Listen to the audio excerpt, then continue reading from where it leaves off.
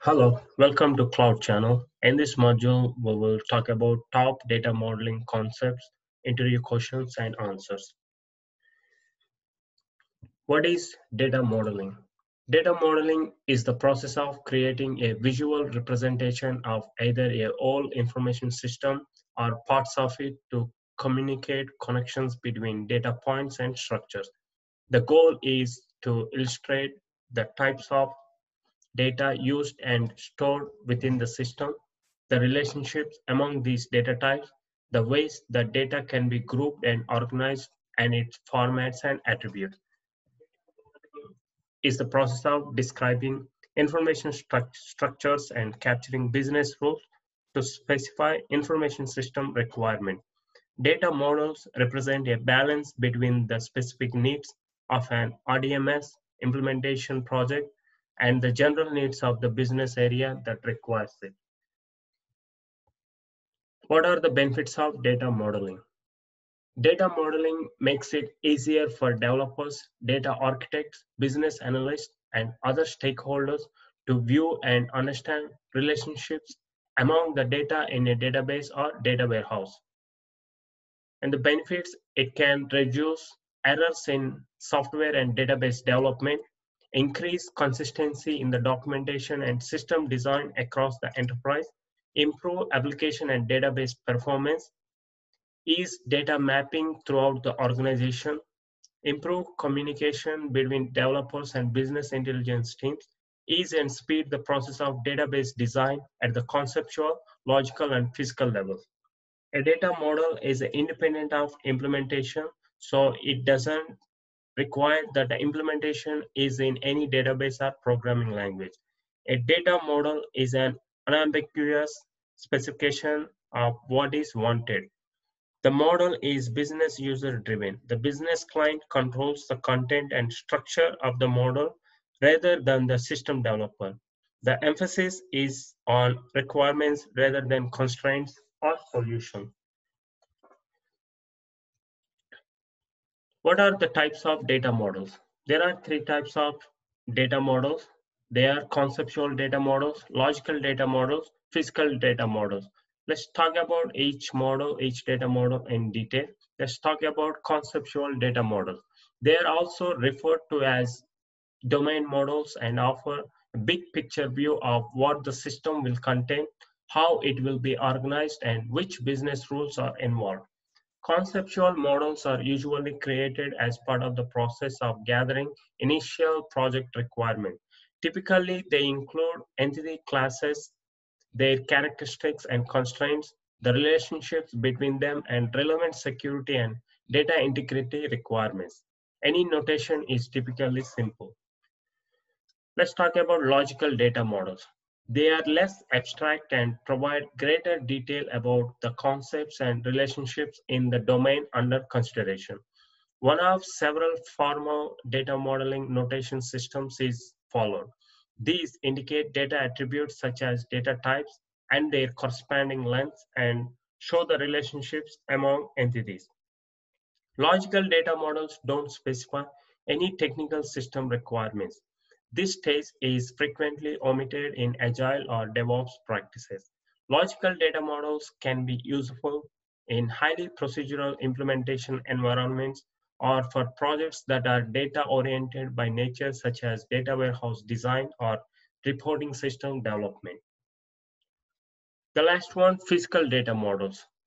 The physical data models provide a schema for how the data will be physically stored within a database. As such, they are the least abstract of all. They offer a finalized design that can be implemented as a relational database, including associative tables that illustrate the relationships among entities as well as primary keys and foreign keys that will be used to maintain those relationships. Physical data models can include database management system specific properties, including performance tuning. What is logical model? We just discussed about logical data models and other models. Logical data modeling level where we create a conceptual model that contains objects such as entities, attributes, and key groups. What is physical model?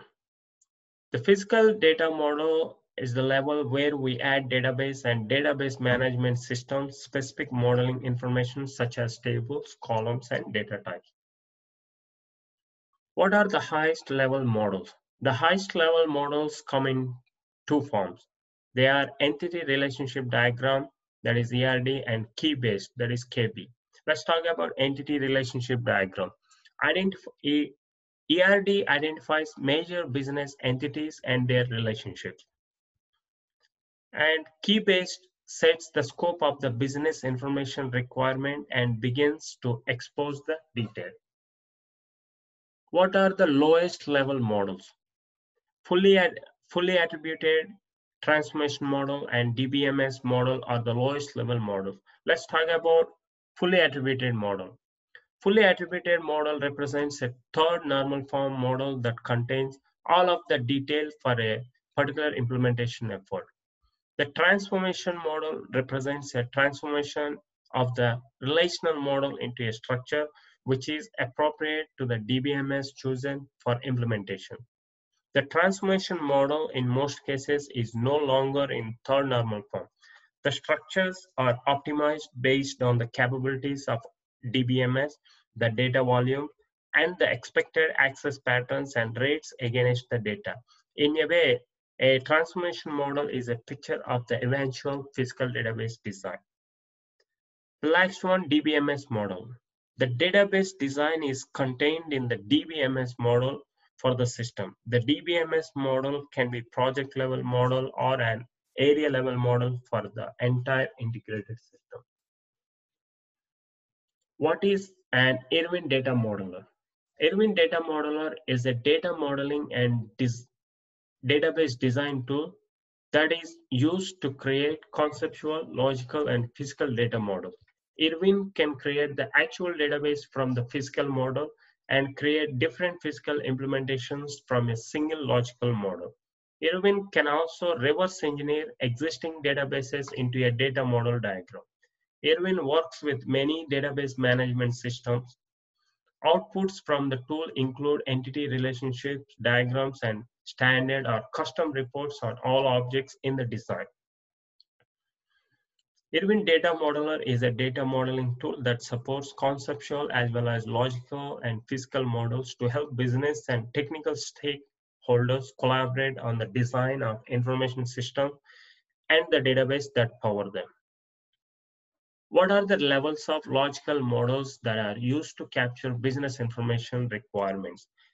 There are three levels of logical models that are used to capture business information requirements. They are entity relationship diagram, key-based model, and fully attributed model. What are the levels of physical models exist for an implementation project? There are two levels of physical models exist for an implementation project. That is TM, transformation model, and DBMS model. What is an entity relationship diagram? The entity relationship diagram is a high-level data model that shows the major entities and relationships which support a wide business area. An entity relationship diagram is primarily a presentation or discussion model. Entity relationship diagram, also known as ERD, ER diagram or ER model, is a type of structural diagram for use in database design. And ERD contains different symbols and connectors that visualize two important information, the major entities within the system scope and the interrelationships among these entities. What are entity and attribute?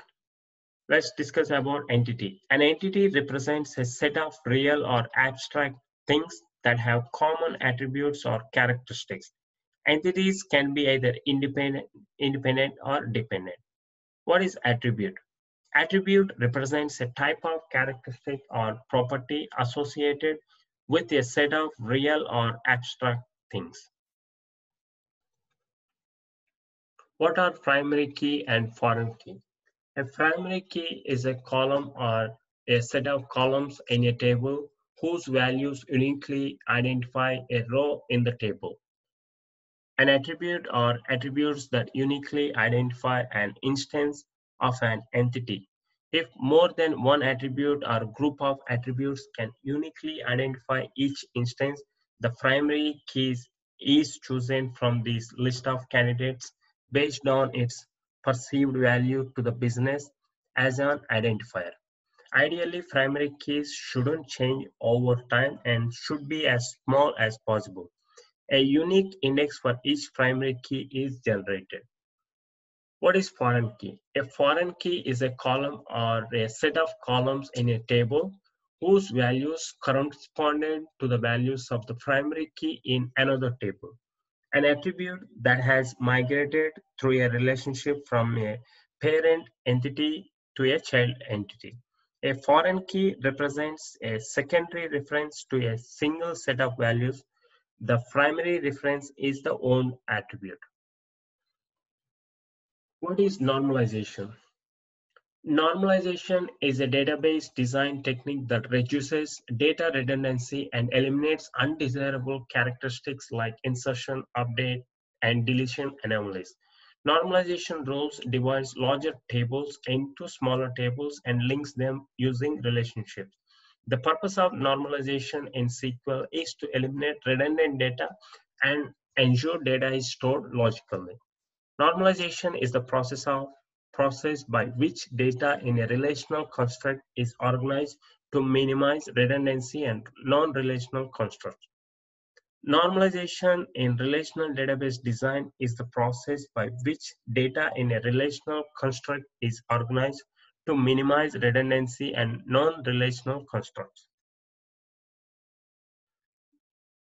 Can you explain first normal form, second normal form, and third normal form? Let's talk about first normal form.